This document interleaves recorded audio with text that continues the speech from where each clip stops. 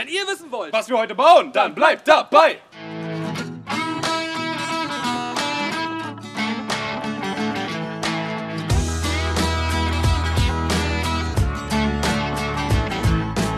Taschen Leute, Taschen, wir sind heute wieder im Camp unterwegs. Was steht an, Andi? dringliche Sachen, äh, die wir uns so ausgedacht haben und ich würde sagen, gar nicht lange schnacken, direkt loslegen.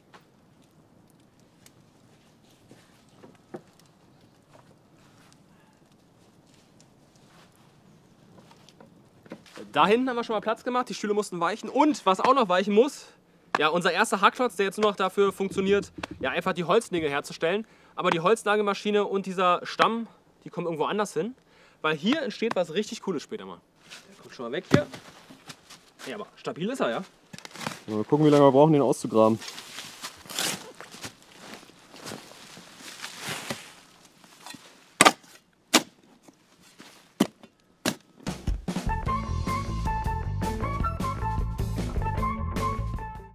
Der Hoshi ist draußen.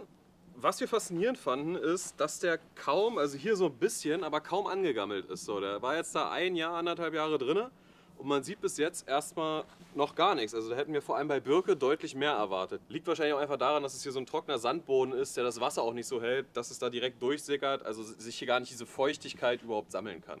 Ganz gut zu wissen. Wir haben uns gerade doch entschieden, bevor das Ding jetzt irgendwie im Camp einfach rumliegt, machen wir es doch heute, jetzt direkt. Und zwar, es kommt hier rein oder hier hin, genau daneben, damit wir trotzdem Holz hacken können oder zu zweit Holz hacken können. Und die Platte vom, von der Nagelmaschine genau hier reinpasst. Zeigen wir euch nachher, wie das dann aussieht. Wird gut, glaube ich. Fertig gebuddelt haben wir. Es war schon wieder eine Plackerei, weil so viele Steine da drin waren. Es ist unfassbar, ja. Egal. Jetzt kommt das Stämmchen da wieder rein. Wir gucken, wo wir absägen müssen und dann sägen wir ab und dann ist das fast schon fertig. Wow, wow, wow. So, warte, warte. Lass ihn dann so ein. Ja, bin mal gespannt. Ist ja fast schon, ja, cool. Ja, perfekt. Dann können wir ihn jetzt Oh, hier, das so- ist gut. Ja, genau. hier so absägen. Ja, einfach drunter, oder? Ja, dann ist er ein bisschen zu tief, aber dann machen wir noch ein bisschen Erde rein, dann passt Genau. das. Okay, dann haben Super. wir ein Maß.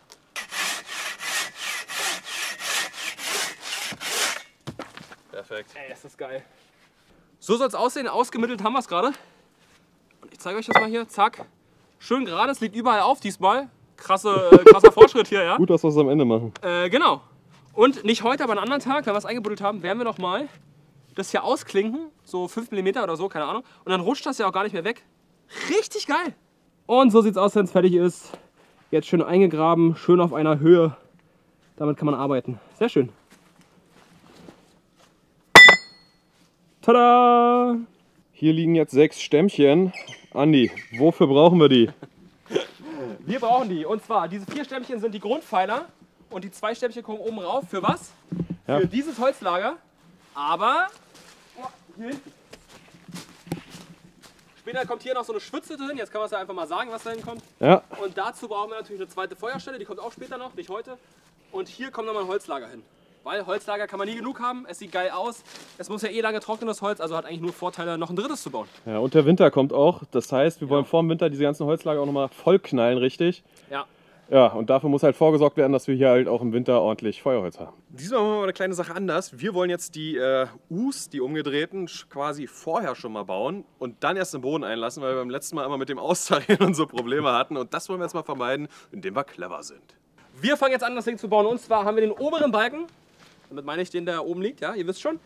Und jetzt müssen wir erstmal messen, ja, welche Länge wir brauchen. Warte mal kurz. Hier haben wir nämlich schon den Ast vorbereitet. Wir haben nämlich hier gemessen, von außen bis zur Kante, wo der Holznagel dann reinkommt. Weil wir wollen eigentlich genau das gleiche Ding nochmal bauen. Legen wir hier nochmal an. Da ist der Punkt. Und da bohren wir jetzt rein. Schön gerade, wenn es geht. Ah, das geht so gut, ey. Ja, das ist echt äh, massive Verbesserung zu dem Ding davor.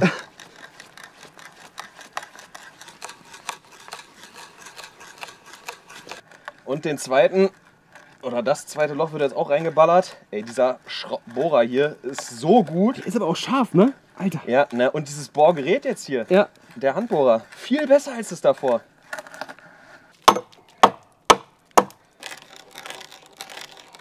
Die letzten Löcher werden hier gebohrt. Jetzt benutzen wir gleich mal die Holznagelmaschine.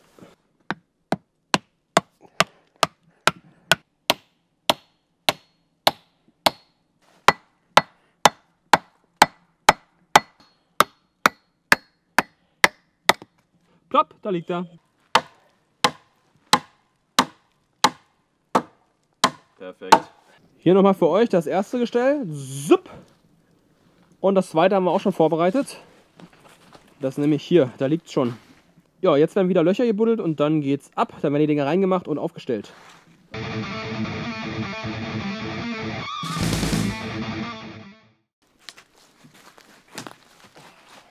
Urukai! Ich fühle mich hier so wie so Flaggenträger aus dem alten Rom. Na hier, Urukai. Oh, Standarte. Das Grundgerüst steht. Jetzt heißt es einmal ganz, ganz viele Stämme durchsägen, damit wir das ganze Teil hier beplanken können. Dann bauen wir noch die Unterkonstruktion und dann reicht das hier an der Stelle auch erstmal für heute und wir wenden uns dem nächsten Projekt zu.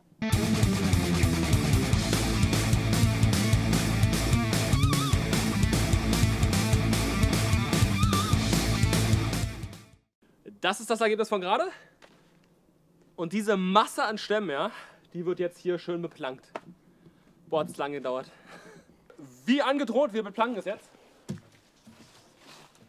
Mit vielen, vielen Stämmchen. Soll ich dir die Puffis hier einfach anreichen oder was? Ja, du kannst die, glaube ich, sogar einfach rauflegen und ich sortiere die dann ran, oder?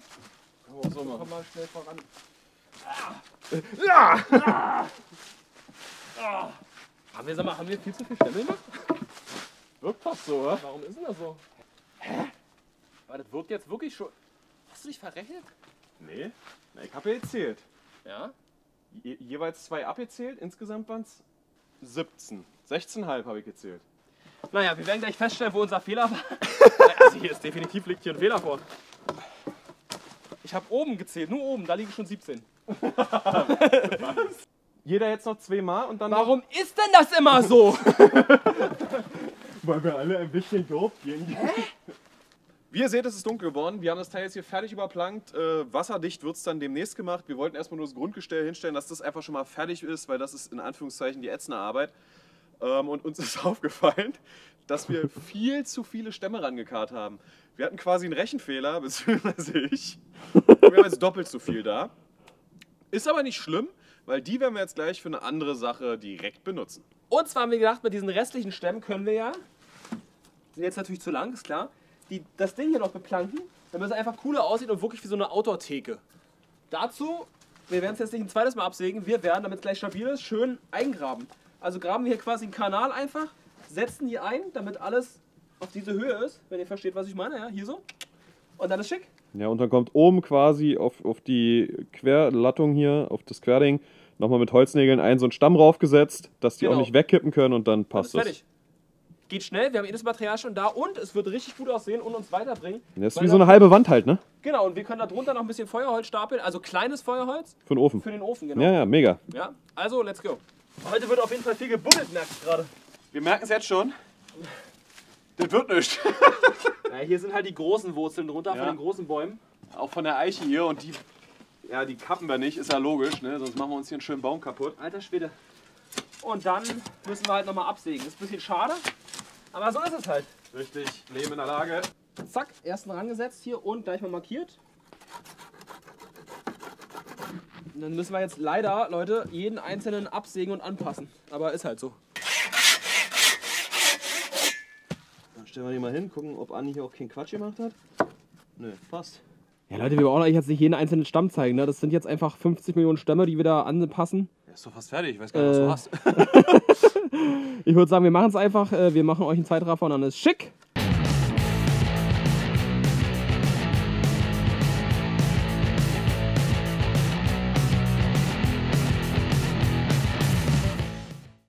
Leute, ein klitzekleiner Break für unseren Sponsor Revolution Race. Genau, wer für den Winter noch Klamotten sucht, wie dieses Tornado Fleece oder schöne lange Merino-Woll-Unterwäsche, die Anni hier auch gerade trägt, oder auch nochmal ein paar Hosen, jetzt auf jeden Fall unten mal in der Videobeschreibung reinschauen und den Link klicken.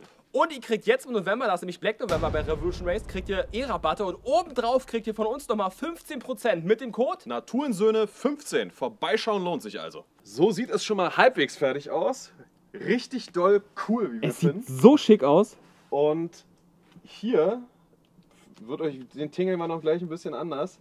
Da muss dann noch so ein kleiner Keil quasi rein, weil wir da hat halt nicht richtig gepasst.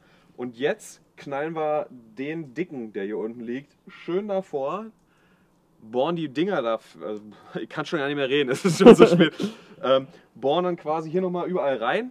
Holznägel, dass das alles fixiert ist, unten den Graben voll machen und dann haben wir eine richtig schöne massive Wand und dann sieht es so richtig thekenmäßig aus. Da musst du eigentlich noch so ein Barschild hinhängen. Eigentlich so schon. kommt's rüber, das ey. aufwertet, diese Richtig kleine cool. Wand, ja?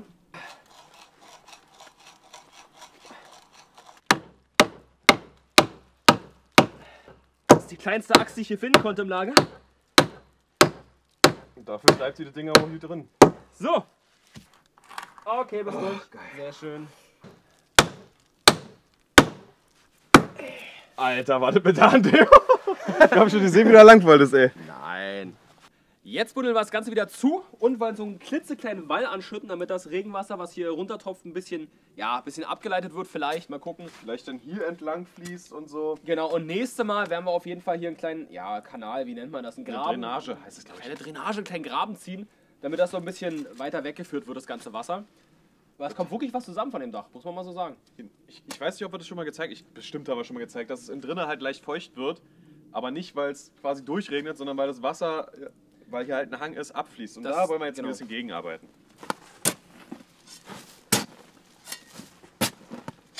Einmal jetzt hier schön feststampfen, die ganze Nummer von außen. Jetzt haben wir hier schön einen kleinen Graben gezogen, um eine Ecke rum und da auch nochmal. Ja, einfach, dass das schon mal provisorisch da ist. Ne? Schöne kleine Drainage, Genau. damit das Wasser einfach nicht mehr in die Bude reinfließt, sondern einfach außen versickert. Und genau in diesen Graben werden wir nächstes Mal nämlich so, ja, Kieselsteine, alles was wir finden, so kleine Steine einfach ganz viele reinlegen. Erstens kann man dann nicht mehr stolpern in den Graben und zweitens hat es trotzdem die Funktion, Dass es ja versickern kann. Ne? Genau. Und es sieht auch gleichzeitig noch schick aus, wenn da so eine klare, Ja. helle Linie drum gezogen ist. So fußballplatzmäßig ein bisschen in Anführungszeichen. Macht es einfach noch mal ein bisschen schicker. Vom Zurechtsägen der Stämme hier haben wir jetzt noch diversen Verschnitt und da wir hier den nicht verkommen lassen wollen, werden wir jetzt doch noch bei unserem neuen Holzlager unten eine Unterkonstruktion schnell zurechtlegen, die hier alle Spalten wegsortieren, dass die wenigstens schon mal vor der gröbsten Nässe weg sind und schon mal so ein bisschen vortrocknen können. die brauchen wir auch. Gut, dann fangen wir mal an, einfach die Dinger hinlegen.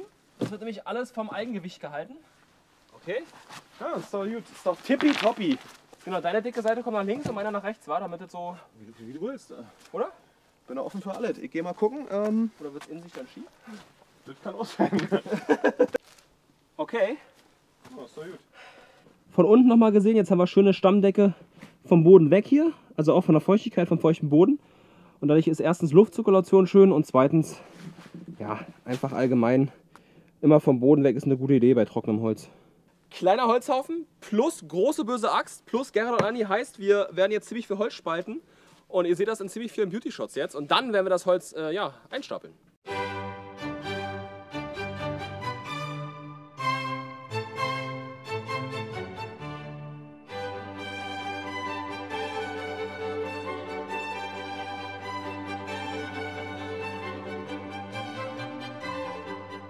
Lad ab das Ding! Wie immer noch eine Frage an euch. Wir wollen im nächsten Camp-Video auf jeden Fall die Schwitzhütte anfangen und dafür haut ihr jetzt einfach mal alle Tipps, die ihr habt, in die Kommentare. Eine Menge geschafft auf jeden Fall heute. Hat trotzdem alles irgendwie ultra lange gedauert.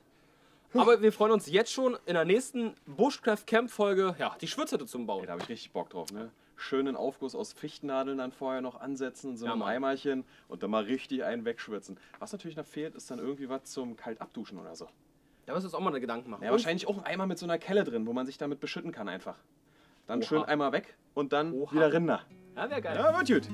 Wenn ihr das nicht verpassen wollt, dann solltet ihr auf jeden Fall abonnieren, liken und uns nächsten Samstag wieder einschalten. Also, bis dahin. Ciao!